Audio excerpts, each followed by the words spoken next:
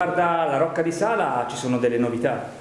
Ma io spero, eh, noi abbiamo eh, fatto una ricognizione dei progetti eh, da me lasciati nel 2010, eh, abbiamo recuperato questo lavoro fatto dall'architetto Buselli che presenterò al Ministro Franceschini il giorno 24, appuntamento a Roma, eh, il Ministro è stato così gentile da darcelo subito in funzione della nostra richiesta e ci presenteremo là eh, spiegandogli quello che poi in realtà già conosce, perché il Ministro eh, era già stato informato da me, io gli ho fatto vedere la struttura della nostra rocca in occasione della sua visita la scorsa estate quando fu presente all'iniziativa di Più Forte del Vento.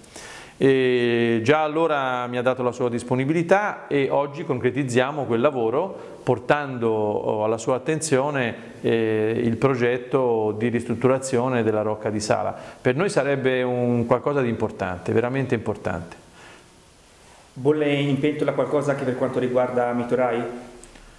In quell'occasione illustrerò la nostra idea di realizzare il museo eh, a Igor Mitorai,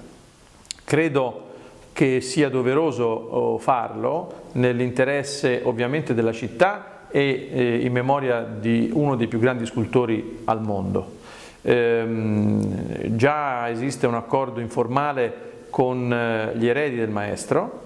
con i quali abbiamo dialogato circa la possibilità di ottenere un numero di opere importanti, anche monumentali, e dobbiamo, eh, approfitto ovviamente dell'opportunità che il Ministro eh, ci dà, eh, individuare l'area più giusta, lo spazio più giusto, sarà costituita una commissione alla quale assegnerò 6-8 mesi di tempo per produrre un progetto, eh, all'interno di questa commissione dovranno essere presenti eh, sicuramente personalità del mondo museale